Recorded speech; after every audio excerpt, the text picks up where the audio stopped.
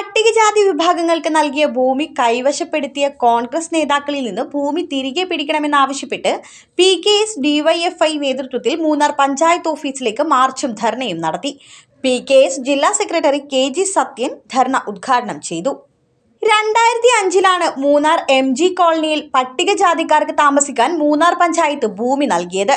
പഞ്ചായത്ത് നൽകിയ ഭൂമികൾ കാലക്രമേണ ചിലർ വിൽപ്പന നടത്തി. ചില ഭൂമികൾ രാഷ്ട്രീയ സ്വാധീനം ഉപയോഗിച്ച് ഉടമകൾ അറിയാതെ തട്ടിയെടുത്തു. ഇത്തരത്തിൽ കോൺഗ്രസ് നേതാവ് വിജയകുമാർ തങ്ങളുടെ ഭൂമി തട്ടിയെടുത്തെന്ന് ആരോപിച്ച് കഴിഞ്ഞ ദിവസം എബിനേശ്വരും കുടുംബവും പഞ്ചായത്തിന് മുമ്പിൽ കുത്തിയിരിപ്പ് സമരം ആരംഭിച്ചിരുന്നു. ഇവരുടെ സമരത്തിന് ഐക്യദാർഢ്യം പ്രഖ്യാപിച്ചാണ് പി കെ എസ് ഡിവൈഎഫ്ഐ എന്നിവരുടെ നേതൃത്വത്തിൽ മൂന്നാർ പഞ്ചായത്ത് ഓഫീസിന് മുമ്പിൽ പ്രതിഷേധ ധർണയും സമരവും സംഘടിപ്പിച്ചത്. ധർണ പി ജില്ലാ പ്രസിഡന്റ് കെ സത്യൻ ഉദ്ഘാടനം ചെയ്തു. കോൺഗ്രസിന്റെ പുതിയതായി നിയമിതനായിട്ടുള്ള ബ്ലോക്ക് കോൺഗ്രസ് കമ്മിറ്റിയുടെ പ്രസിഡന്റും മുൻ ജില്ലാ പഞ്ചായത്ത് മെമ്പറും ഒക്കെ ആയിട്ടുള്ള ആയിരുന്ന ശ്രീ വിജയകുമാർ.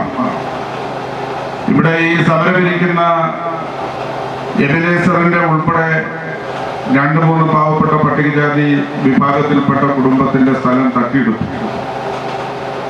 അവിടെ റിസോർട്ട് പണിതു അവിടെ അദ്ദേഹം താമസിക്കുകയും റിസോർട്ട് വാടകയ്ക്ക് കൊടുത്ത് വരുമാനമുണ്ടാക്കുകയും ചെയ്യുന്നു.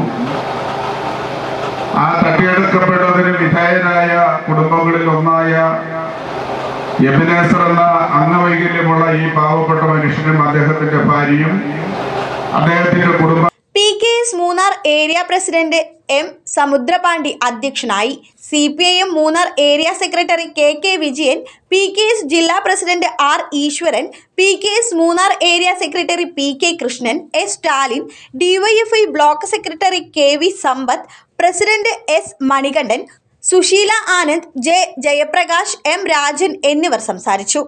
Enlight news Munnar. Kerala Vasthralayam Pattambi road Kunnamkulam. Guruvayur road near royal hospital Kunnamkulam.